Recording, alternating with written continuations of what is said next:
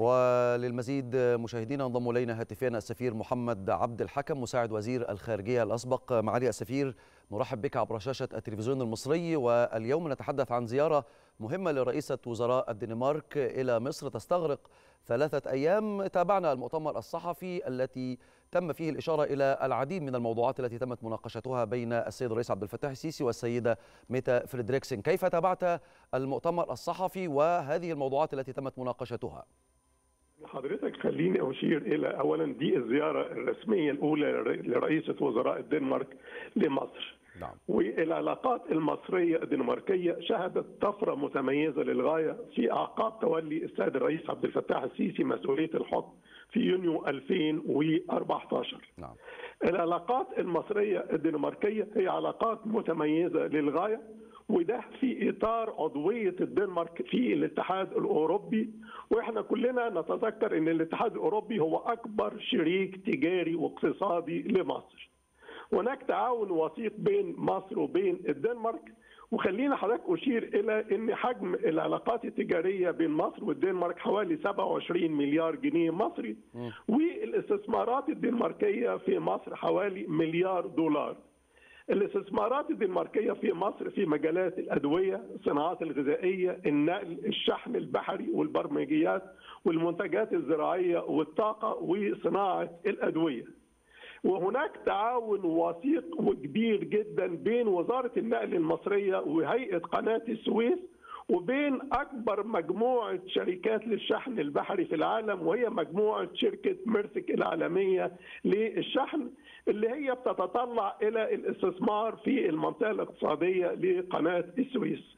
السيد الرئيس عبد الفتاح السيسي في إطار اهتمام سيادته بدبلوماسية التنمية الاقتصادية خلال المباحثات اليوم واجتماع سيادته مع رئيسة وزراء الدنمارك كان حريص كل الحرص على الإشارة إلى تطلع مصر إلى جذب وزيادة الاستثمارات الدنماركية في المنطقة الاقتصادية لقناة السويس والتأكيد على الحوافز والامتيازات اللي بتقدمها مصر للشركات والمستثمرين الأجانب من أجل زيادة الاستثمارات الأجنبية في كافة المجالات التنموية في مصر.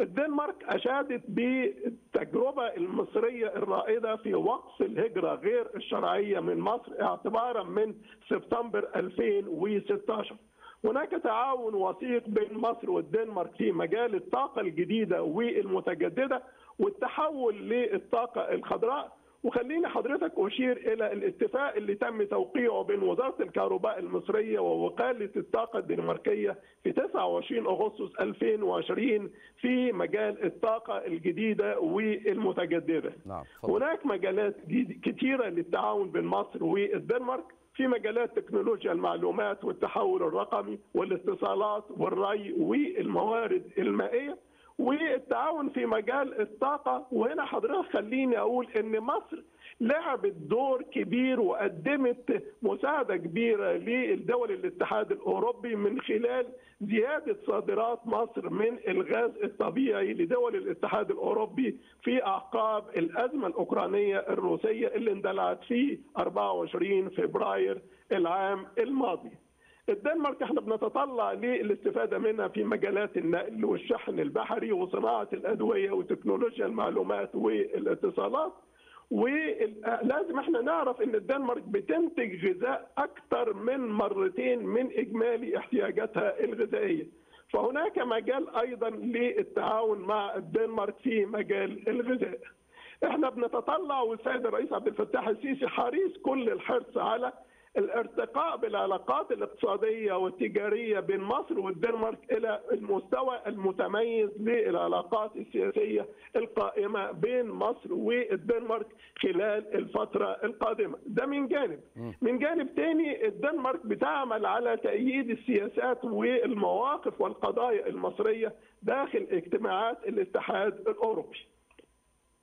نعم أهم ملامح هذا التقارب في وجهات النظر وتنسيق المواقف إزاء القضايا الدولية كما أشرت معالي السفير. يعني من الأهمية مكان الإشارة إلى التعاون في مجالات مكافحة الإرهاب والتعاون الأمني بين مصر والدنمارك في هذا الشأن والتعاون في مجال مكافحة التغيرات المناخية وهنا لابد من الإشارة إلى إن مصر بحكم رئاستها لكوب 27 واهتمام الدنمارك ومصر بالتغيرات المناخية والحد من التأثيرات السلبية للتغيرات المناخية فهناك تعاون وثيق مصر بين مصر والدنمارك في هذا المجال. هذا فضلا عن التعاون الوثيق بين مصر والدنمارك في مجال الطاقة الجديدة والمتجددة وإحنا هنا لابد من الإشارة إلى إن الدنمارك بتنتج 27% من احتياجاتها من اجمالي الطاقة من الطاقة الجديدة والمتجددة وخاصة من الطاقة الشمسية وطاقة الرياح والطاقة الحرارية.